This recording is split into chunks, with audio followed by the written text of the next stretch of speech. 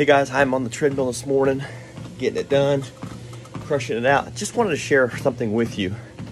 And I hope, guys, I hope you're staying healthy. I hope you're eating well. See if I can put this up here. Hope you're eating well. I hope you're staying healthy. Because it doesn't matter what you do in life if, if you die tomorrow.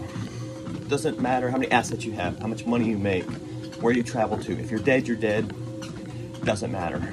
But hey, this morning I want to tell you what I do during my routine of working out. Four days a week, I'm on the treadmill for at least 30 minutes. Keep my heart rate up, all that good stuff. You can't tell, I'm not breathing heavy.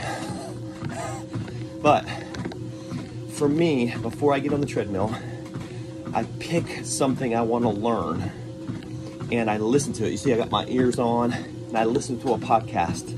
I let a book read to me something that I'm interested in.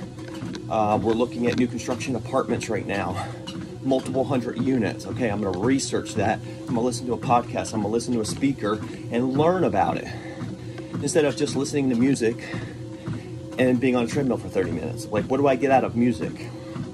For me, not that much. It's different in my morning routine where I listen to soft music or quiet music and it helps me relax. But I'm working out. Like, I don't want to listen to something slow.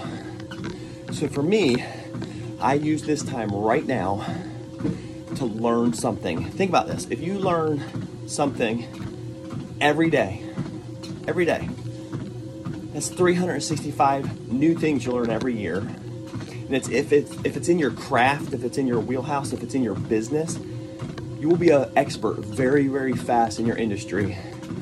And it's proven. Knowledge is power. Knowledge is money. The more you learn and educate yourself, you won't make as many mistakes.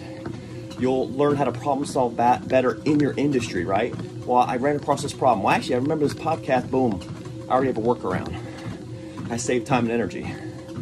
So I want to encourage you today, while you're working out, or make it part of your daily routine, whenever that might be. It could be afternoon, it could be late at night, you're, you're a night owl like my wife. Awesome. Just make sure. Learn something every single day. See you soon.